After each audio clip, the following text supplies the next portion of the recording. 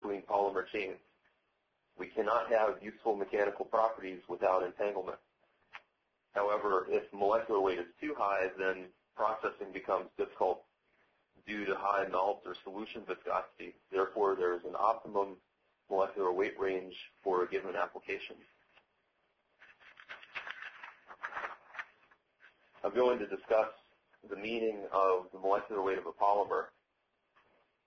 A polymer molecule is a chain composed of many repeat units.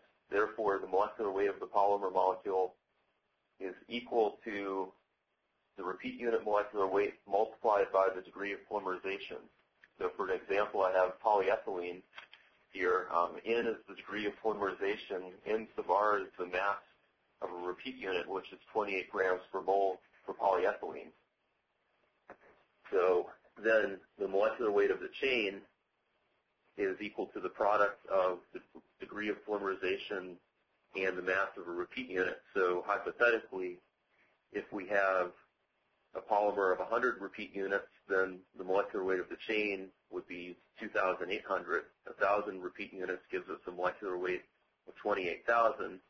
10,000 repeat units is 280,000. And 100,000 repeat units, that should say 2,800,000.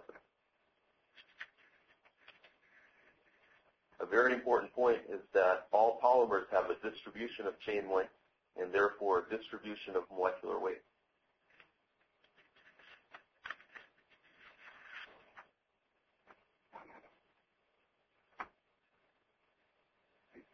Uh, it's often convenient to use average molecular weights as a means to numerically characterize a polymer sample's molecular weight distribution. This makes it easier to compare samples and to set specification limits. The way this is done is to divide the molecular weight distribution into sufficiently narrow slices